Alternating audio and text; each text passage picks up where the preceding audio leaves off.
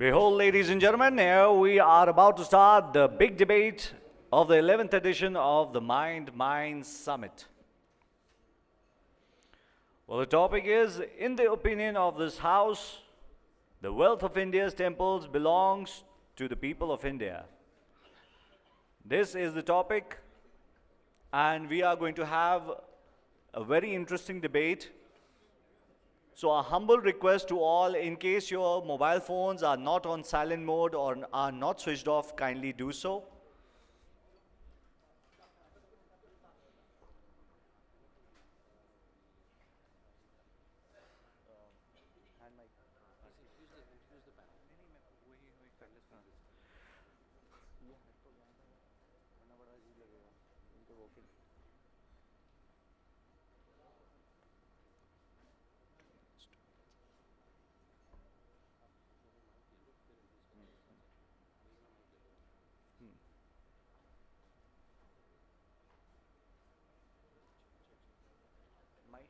Right number one on कर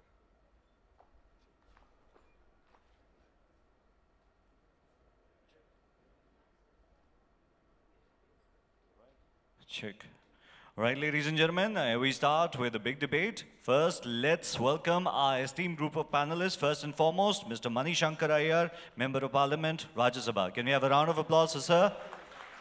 Names to your right,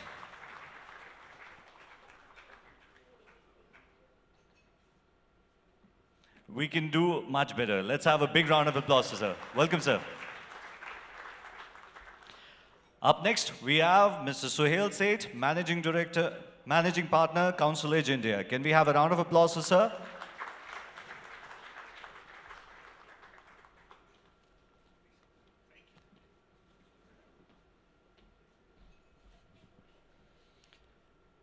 Moving on, we have Mr. Prabir Bagchi, Vice Chancellor, SRM University. Can we have a round of applause for Mr. Bagchi? Come on, we can do better. Round of applause.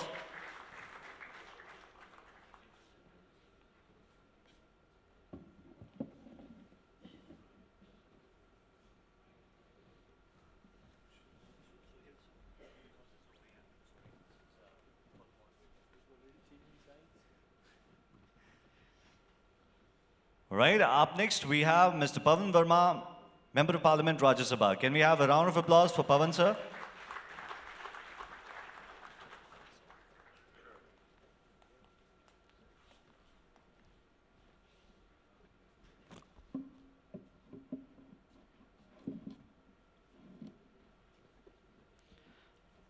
Up next, we have Managing Director GM, GCMM Amul, Mr. R.S. Sodhi. Can we have a round of applause for Mr. Sodhi? Welcome, sir.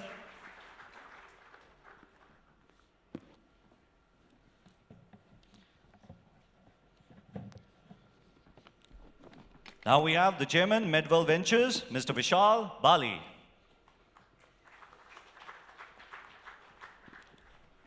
We can do much better. Come on, this is the big debate. In fact, I call it the great big debate.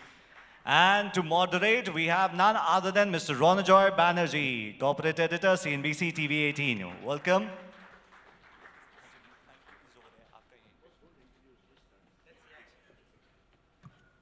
Ladies and gentlemen, as you can see, the topic behind me, the big debate, in the opinion of the House, the wealth of India's temples belong to the people of India. I will not set the context, that's the whole idea. It may sound a bit vague. Uh, and on my left-hand side are those who will be speaking against the motion. So the leader of uh, the opposition side is Mr. Suhel Seth. We have Mr. Bagchi and we have Pavan Varma. Speaking for the motion, the captain of this side is uh, none other than Mr. Mani Shankar Aiyar, Mr. Sodhi, and Vishal will also be speaking for the motion. So each speaker will get three minutes. Where is my bell? Yeah, now it's. Uh, can I have the bell? Okay, somebody's. Will somebody ring the bell or? Okay, so each speaker is going to get three minutes. All right, three minutes. No, we have just. I was just informed now because of paucity of time. We'll three minutes. So after two minutes, the bell will ring first. And after three minutes, the bell, somebody will have to frantically ring the bell because nobody exceeds the time limit. All right? So without further ado, ladies and gentlemen, let's kickstart the big debate, Mani Shankar Aiyar speaking for the motion. In the opinion of this House, the wealth of the temples does belong to the people. Mr. Mani Shankar Aiyar, please. Well, the wealth of the, the, the wealth of the temples does belong to the people because this is the people who gave them that wealth. And yet there are some elements, I suspect, among you who'd like to get your cotton picking fingers on that wealth that is stored there. There's a large number, some among you here, and many others outside, who have huge NPAs. And if you succeeded in getting your hands on all the gold and the wealth stored in our temples, I understand from Mr. Munjal that it's about 4,000 tons of gold, then of course, you'll be able to get rid of your debts more easily. And there are lots of incompetent finance ministers who would like to bridge their fiscal gap by stealing the money that the people have put in there. I'd also warn that anybody who attempts to take the gold off the golden temple in Amritsar is stoking trouble for himself. That if you attempt to raid mazars, you're going to be in trouble. And therefore, on a much bigger scale, anyone who attempts to do to the Tirupati temple what Muhammad, what Ghazni did to Somnath temple is going to suffer the same fate at the hands of the most dangerous group of Indians today, which are the Indians in the government. So watch out. Please don't steal the wealth from the people. I myself am an atheist, so I would never give a penny to these temples.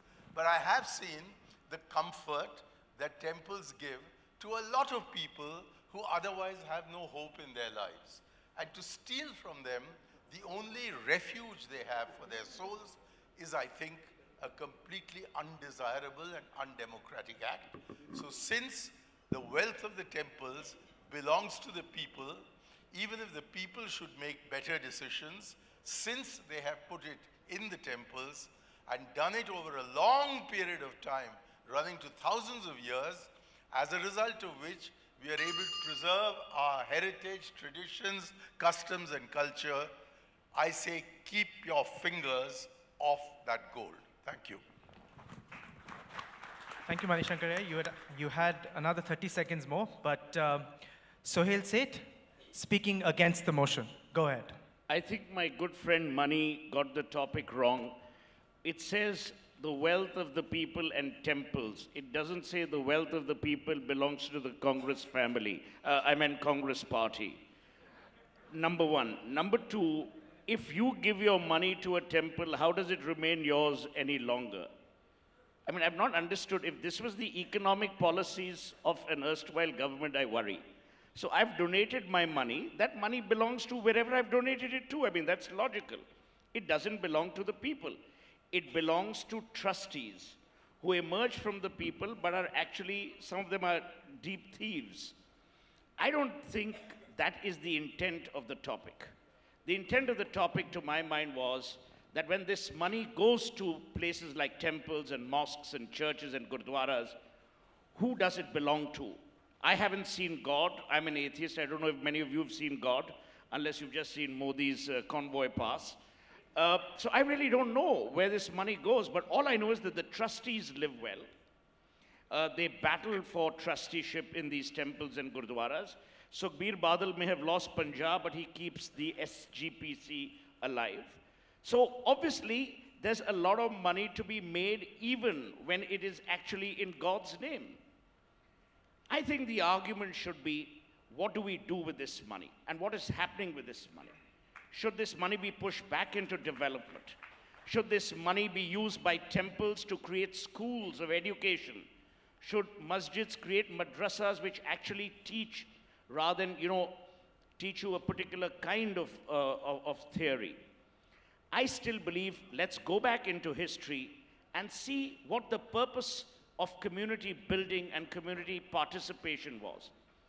Temples were also seen as a social cultural hub. Culture has gone out of our temples, it's gone out of our religious places. So our argument is that the wealth belongs to the temples, but sadly, the temples are not using it. And I'm not talking about temples as in just temples. any religious place is actually not using it for the betterment of society. Yes, I'm proud that Gurdwaras still offer langar. I'm delighted that there are temples which contribute to the Akshay Patras of the world, the ISKCONs in Bangalore. Those are the models we believe tomorrow's India, and in fact today's India, should follow and pursue. The wealth that is being generated and is being donated by the people is being donated out of belief and trust. We have no business to deny belief and trust and opportunities to the less privileged and people who have had the denial of opportunity. So our argument is it doesn't belong to the people, it belongs to communities that are impoverished thanks to the denial of opportunity. Thank you. Thank you very much, Suhel Seth. So the opening arguments have been made. Now, team proposition, who's going next? Mr. Sodhi, go ahead. One moment, let me set my timer. Yes, you can go. Okay. You See, first let us go back why temples or these all religious centers have been built by our religious leaders. They are besides a common place for prayer, they are built and also exhorted and uh, I mean requested people to donate just to pool the resources to give benefits to the underprivileged or less privileged. You see, all spiritual gurus started with that only. Later on, their objectives, people may have changed. But when it started like this, and this wealth was used for providing food during drought, during wars, aggression, I mean, th- this wealth was used for public purpose. But what happened over a period of time, some, some, these religious institutions using this wealth as a stagnant wealth, where wealth is stacked in the basement or bank, thousands of crore rupees or gold or everything. In some places, it is used as a flowing wealth, where whatever money comes, it is used for the benefit of what I feel is that it belongs to people. So it should be given back to the people instead of stock, I mean, keeping in the banks or in the basements of uh, temples or any other religion. I mean, being a Sikh and a cooperative, I can give you small examples. In a cooperative society, nothing. Dr. Verghese Kurien used to say that cooperative is like a matter of faith. It's like a religion. You have it or you don't have it. And in cooperative also, whether all caste, creed, religion, small, big, their contribution, whatever share price is one, but benefit is same to everybody. Like 70 years back, Amul started, a shareholder of 10 rupees. Today, if any farmers join, same share he gets at 10 rupees, he gets the benefit of same Amul brand, which may be valuing more than a lakh crore. So sharing the wealth by wealthy people who are earlier shareholders. And uh, in Sikhism also, our first Guru, Dr. Uh, Shri Guru Nanak Ji, his Main things were, कृत करो काम करो वंड के खाओ मतलब distribute your whatever you earn and नाम जपो भगवान so that is in sequence you anywhere any disaster is there, whether Uttarakhand, you know what happened, Nepal, Chennai, immediately whatever these uh, religious institutions are there around, they have gone for langar, feeding, medicine, sheltering. Even in Joshimath, money was given people to because whatever people lifted by helicopters money going back to Tamil Nadu, anywhere from wherever these people have come. But here, what I want to say is, whatever wealth is there, it has to be managed by the people. So democratic setup should be there, like government. Elected body has to be it, not trustee. So this is what my submission. Thank you very much. All right, Mr. Sodhi, you may have inadvertently swayed a lot to the side of the against in some of the arguments you've made, but I'll leave it to the August House. We'll take a quick vote at the end of it. Now, speaking against the motion once again, this time is Mr. Pavan Varma. Mr. Varma, your time starts now. I think the proposition has not demolished the fact that when people donate to the temples, they are donating to the temples and not to an amorphous entity called the people of India. This is a matter related to faith. You can question the practice. You can wonder why in Hinduism everybody is in a rat race for individual moksha. through anonymous dono- donations. But you cannot question the legality of the ownership of the person to whom that donation has been made. Secondly, I am very suspicious about this term people of India because people of India is usually interpreted as the representatives of the people of India, which in turn means governments. And when governments take over money donated to temples, even though a lot can be done with that money for the benefit of the people of India, usually you find that both the money is depleted and the cause is diluted. So you have the Tamil Nadu government which has nationalized temple trusts. Today in ownership of 487,000 acres of land which belongs to temples, which should generate an annual revenue of 6,000 crores, but the Tamil Nadu government now earns 58 crores annually from those lands. In other words, na khuda hi mila na visale sanam. The person who with faith gave it to the temple, that has been taken away and its utilization has been so suboptimal that the whole process of giving it to the people of India is diluted. I would say that a much better proposition is that those who donate out of faith to a temple do so, but the temples themselves, as the trustees of that wealth, then use that wealth. And that is something we should all push for. They use it as trustees for the welfare of the people. In other words, the ownership remains, but the goals, the aims, the motivation, the impact of that wealth changes. There is a notion in India which counters that of individual moksha, and that is paropkar. Give back to the people what the people have given to you. I believe temples can do it much better because they are motivated by the right level of dedication and sacrifice and at least spiritualism than governments who use the same money to open canteens which are run poorly with the picture of the politician on the walls of that canteen, as has happened in many parts of the country. So I say, let's not question ownership. That ownership, incidentally, also includes rare antiquities, jewels, pieces of art. Let them lie where they are, but let them be on display. Let that wealth be used for larger purposes, but let's not question the ownership. Thank you. Thank you very much, Pavan Varma. So you've heard two speakers from either side. Now we go to the, the our final speakers for the day. Go ahead, Vishal. So, uh, you know, I've been hearing our opposition talk about how it should be used, how it can be more be made more effective. What is temple wealth? Ultimately, temple wealth is like a social impact fund. It has to be managed by the people who understand it best. We have enough examples in this country where social schemes like the ESI and some of the others, which were, made, which were actually introduced for the well-being of the people, actually never end up getting utilized because they are in the coffers, which are under the maintenance of the forces that be, and so therefore it never goes back into more effective social, social, social impact. I think it is therefore important that the wealth which is sitting in the temples, the wealth which is sitting in these kind of environments, are best used by the trustees of those environments. Yes, one can question the abilities of those trustees to use the wealth in the right manner, but one sh should actually let that wealth lie over there so that a lot more social good can be done with that, right?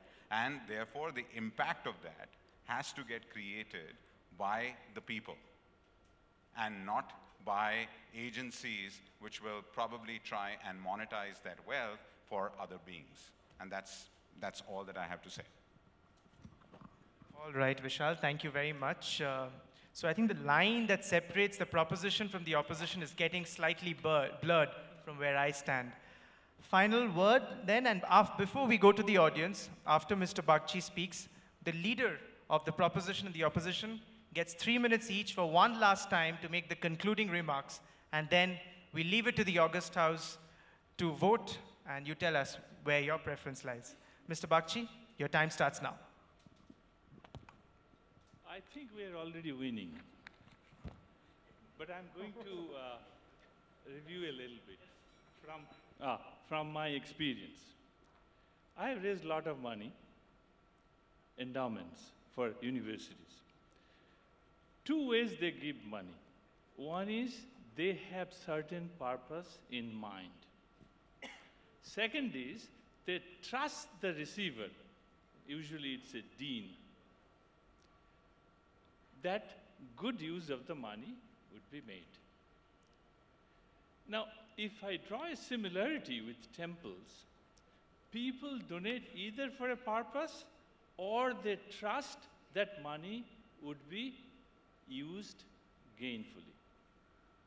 So I think this topic is slightly, uh, uh, should have been slightly modified. Should this money that lie unused be used more productively? And the answer is absolutely. Because dead money in a vault, dead gold in a vault, is of no use. So if you trust the trustees, now you can question trustees, uh, but assuming they are up to their task, they would be in a position to honor the wishes of the donor, or they must find a way to use that, temple, uh, that money. Now, I understand, I just now found out that Golden Temple does indeed do exactly that. So, the uh, verdict is clear. It doesn't belong to the people, but it should be used for the benefit of masses. Thank you. All right, I must say all the speakers have stuck to time. In fact, some have finished well before time, but thank you very much. Those were the principal views from both sides. Now, three minutes each to the leader of the two teams. Maybe Mr. Mani Shankar Aiyar, you can go first, your concluding remarks and your final punch. I, I would like to thank Suhel and his colleagues for having made out an excellent argument which should have been made from this side of the House. They've accepted that the people of India over centuries have given their wealth to the temples. The temples have trustees. The trustees are governed by a trust deed which sets out the objectives of the temple. And the objectives of the temple are essentially spiritual, the maintenance of the temple, but there is no incompatibility between using the funds for purposes of relief of the kind that Mr. Sodhi referred to, or for the welfare of the people, and promoting the basic objective, which is meeting the spiritual needs of the people. And I think Pavan put it best when he said that the temple's trustees should certainly be the trustees of the money that has been entrusted to them by the people, but they should use it for the welfare of the people. Now, the subject before us was not about whether trustees are doing a good job or not. It's a question of whether the money that people have given to the temples belongs to those who have given the money to fulfill their spiritual requirements, or whether it should be nationalized by, by the government or taken away by individual entrepreneurs. And there, I think, one should draw a line because people are both materialistic and spiritual, but while they can get along with monetary loss, it's very difficult to persuade them to accept spiritual loss. And spiritual loss would be deeply involved in robbing the temples and other places of worship of the wealth through which they maintain the spiritual traditions, which don't mean much to me, but mean a great deal to most Indians. You'll spark a terrible rebellion if you allow the wealth of the temples to be filched by those who are not the trustees of the temple. Thank you. Thank you very much, Manishankar Iyer. Suhel Seth, final words. Your time starts now. Mani Shankar Aiyar is one of India's most eminent debaters. But then when you spend so much of time in the Rajya Sabha amongst a lot of people with feeble intellect, you, two things happen. Number one, you believe in things that you haven't said you've said. And two, you begin to be suspicious about everyone just because they're on the other side. So let's go back to the topic. The topic says, in the opinion of this House, the wealth of temples belong to the people. Two of your speakers' money, Mr. Sodhi of Amul and Mr. Bali of a fund, therefore he mentioned Social Impact Fund, both mentioned that it doesn't belong once it goes, it should be used for the greater good. A point that all three of us have made, and I made that even in my opening remarks. Point number two, let me give you a live example. Pavan Varma is people. Pavan Varma donates money to a temple. That money no longer belongs to Pavan Varma. It belongs to the temple. Our argument is that it will never belong to the people, but it has to be used for the greater good.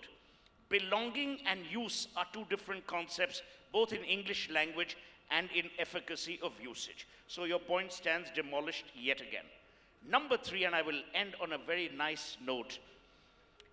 Remember, the purpose with which, and I mentioned this in my opening remarks, temples, mosques, gurdwaras, there are a lot of them which do amazing work. But they do amazing work in spite of the people who've donated the wealth. Because many of the people who've donated money are crooks, criminals, and politicians, not necessarily in that order. Have a splendid afternoon. God bless each one of you, and may God continue to bless America.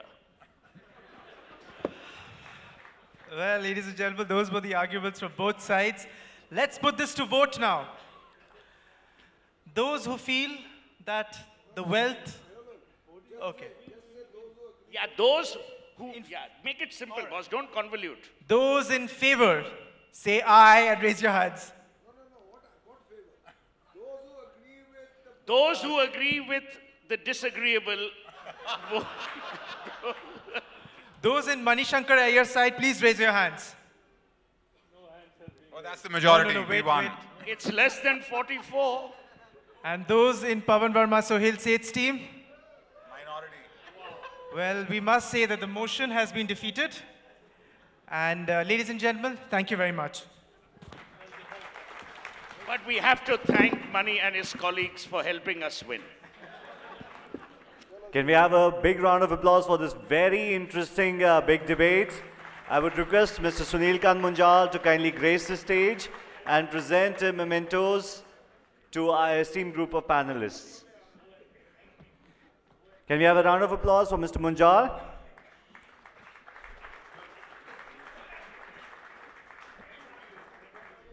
First and foremost, Mr. Mani Shankar Aiyar, Member of Parliament. Can we have a round of applause for sir? Thank you, sir, for giving us your precious time.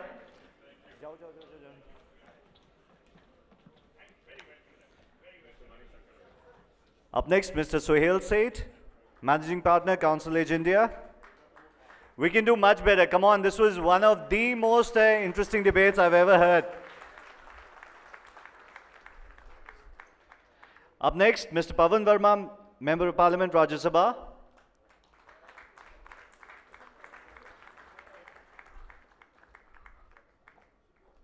Mr. Prabir Bagchi, Vice Chancellor, SRM University.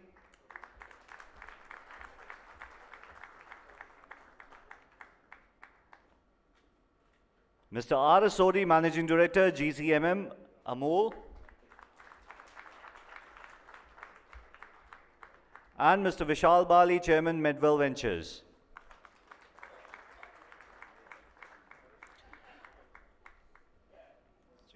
Once again, a big round of applause for esteemed group of panelists. And of course, we have uh, Mr. Ronojoy Banerjee, our moderator. Can we have a round of applause for him?